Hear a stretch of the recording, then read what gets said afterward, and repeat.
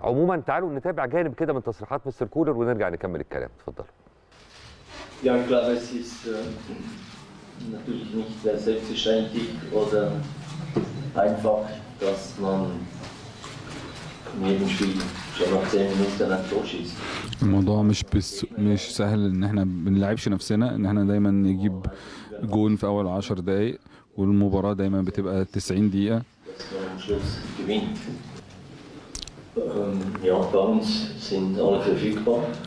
في فرقتنا كلنا متاحين كل لاعبتنا متاحين.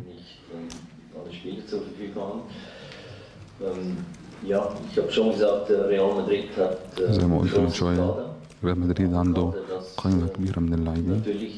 Für diese internationalen Spiele abgerüstet ist. Und, وهم د- كلها لعيبه دوليه كلهم لعيبه على مستوى عالي مفيش فرق بين اللي بره واللي جوه بالنسبة لهم. وإحنا مهم بالنسبة لنا إحنا لو ركزنا على اللعب بتاعنا لو ركزنا على نقاط Real وكمان يمكن نقاط الضعف في ريال مدريد اللي إحنا نقدر نوصلها للعيبة لكن المهم جدا.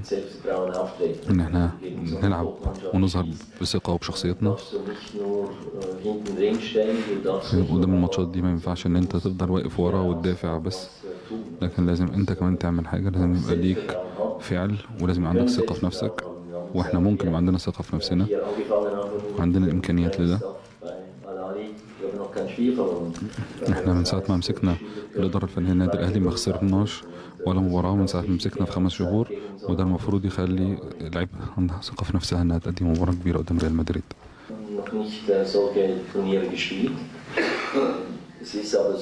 man كمدرب ما شاركتش في بطولات بالشكل ده. قبل كده ولكن عامة دايما عندي كل أنا كمدرب فلسفتي إن إحنا كل باخد كل ماتش بماتش وكل ماتش هو اللي بشارك عليه.